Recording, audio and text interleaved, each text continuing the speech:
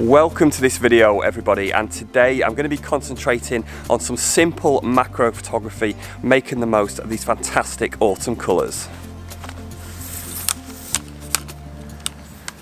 So I've got my main lens today is the 100mm macro lens and that's the one that I'm hoping to use the most, try and do some nice autumn macro shots. I'm looking at a really simple shot now and and one of the reasons I've picked this is because it's not going to be affected by the wind at all. I am absolutely loving the lighting on this at the moment. I didn't expect that. And that's because I'm getting kind of a mixture of light. So we've got clouds coming through and some quite big patches of blue sky as well, which I didn't really want. Um, but quite often if you photograph in the shade under the blue sky you can get a really nice effect especially if it's kind of partial lighting I've kind of got two different plants going up and I'm trying to position the camera to get it right in the middle as flat as possible for to, to maximise depth of field. Down to ISO 100 for really good quality, f11 again good quality, maximise depth of field. At this distance I could probably use f8 but I'm on f11, that gives me a shutter speed about 1 8th of a second. The light's changing a bit um, but it's about that. And then I've just played around with the compositions and a little bit. I can kind of do one that's bringing more of the yellow leaves at the bottom, which seems to work pretty well. Um, and then another one which is just the the most simple composition that I wanted to go for originally and that's just to get kind of both both plants both patches uh, without anything else really distracting around it and also you've kind of got the um, like the the stems we call them stems kind of creeping off to the side and I'm trying to include that in the shot as well. I don't want to make it too tight, I want to kind of include those arms that are going out to the side.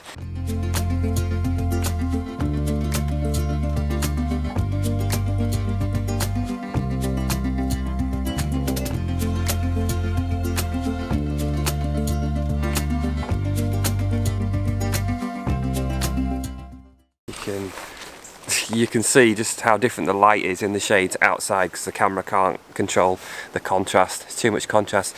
What I'm going to do, I'm just looking at this as a vertical. And you should always do that, try and look at horizontal and vertical to see if one works better than the other. Um, so I'm going to try this in a vertical as well, which is where the good old L bracket comes in, which I finally got these days. But that means I need to get the tripod a little higher, because when you turn it round, you're usually a bit lower usually.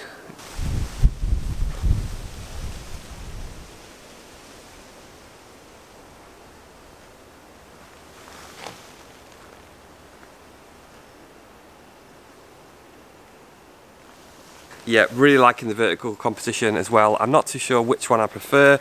I can decide that later. It's not a problem. Uh, I've just done I think two different versions of the vertical again. One uh, to include more of the bottom yellow leaves at the bottom of the frame. And then one uh, just to try and exclude that as slightly tighter. But the light looks fantastic. No filters. Just using the light as it is no filters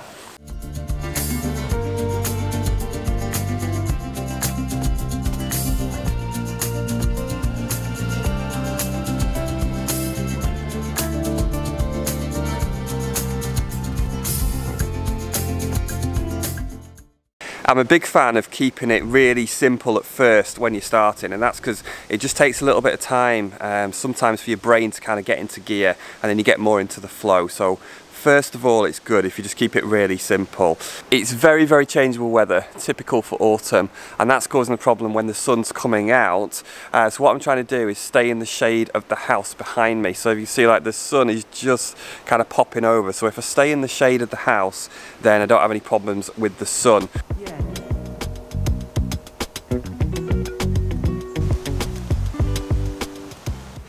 I'm looking at all the Cotoneaster berries. The colour just looks fantastic. There's a huge clump of those here, um, but I'm, I'm struggling to find an image.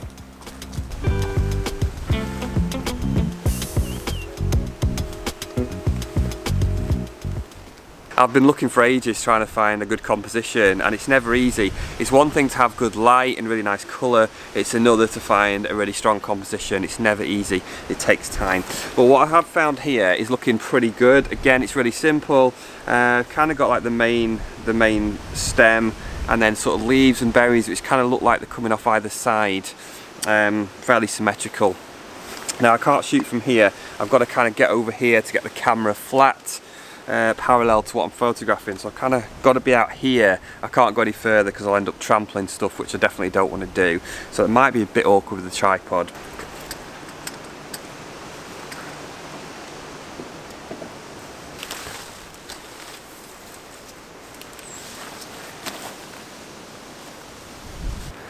that has driven me absolutely insane. So I did a test shot first just on a higher ISO with a higher shutter speed to check the composition. Did a test shot and I looked at it I thought that looks beautiful. Absolutely happy with that. Then got the tripod in roughly in the right area and then it's taken me probably 15 minutes um, to get I just I just couldn't get the same composition. It was just ridiculous. It took me about 15 minutes to get the tripod to figure out where it needed to be to get the same composition. But and I still haven't got it exactly the test shot was perfect but I couldn't seem to recreate it. It's just one of those things. Um, but it's very very close. So finally managed to get the tripod into position even though I don't think it's quite perfect. Got the camera nice and flat now. Uh, it's pretty good parallel for depth of field for most of the berries. Um, I've gone down to f8 because the wind's got up a bit so I'm a bit worried about the shutter speed. So I've got f8 uh, ISO 400 that's giving me a shutter speed of 13th 1 13th of a second which is just a bit faster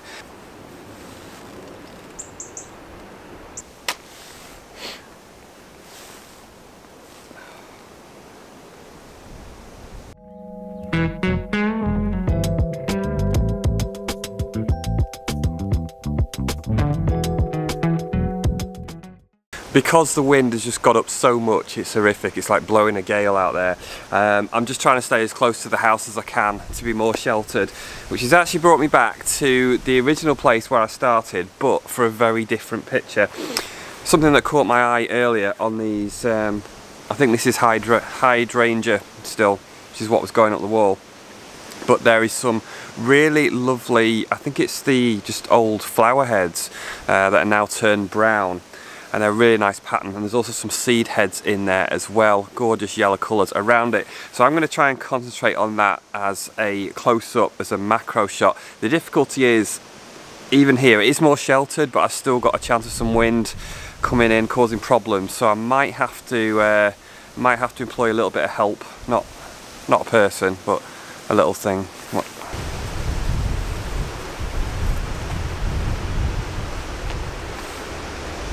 So that took a little bit of time to find something. Um, my first shot is going to be just down here. Um, so I've got really nice petals and then it's just kind of sticking out from where the seed heads are. So you've got like that, uh, the, the petals of the old flower and then the seed heads as well which is like two very contrasting patterns and different colours as well. Background's going to be, should be just completely yellow, nice and diffused.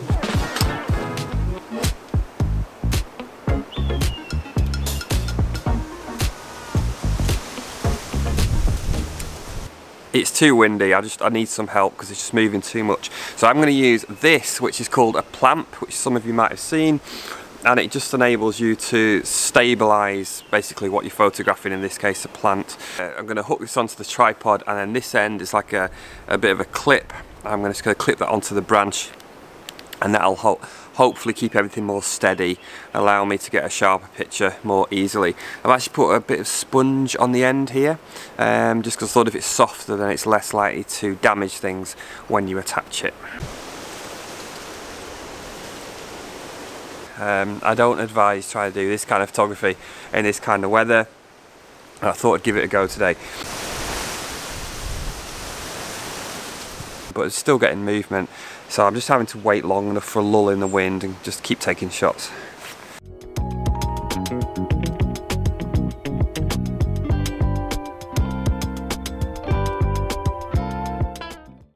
This is just this is just so this is just so frustrating um, there's just so much movement and there's not much I can do so I tried some on 180th of a second like the previous image it's gone still quick. Well, you, you think it was still, but it's about as still as it's going to get, I think.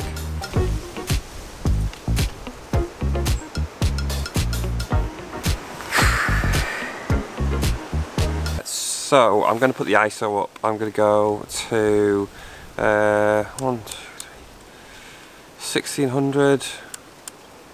ISO 1600, I've now got 160th of a second. So I've basically doubled everything, double the shutter speed, more chance of stopping the movement.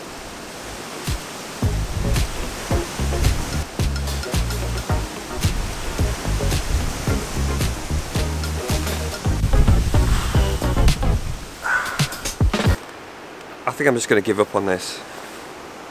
Still.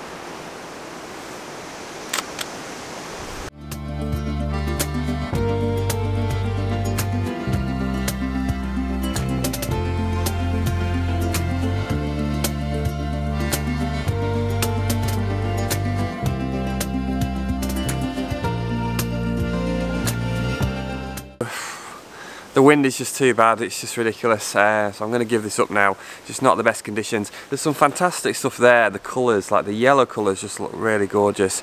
And the patterns I was photographing, I really like that. So there's a lot in there. Uh, but it's just too windy to get sharp images. Um, if you enjoyed that video then you might enjoy this video which is more autumn macro photography. If you're not subscribed do consider subscribing to the channel. Thanks very much for watching. I'll see you next time.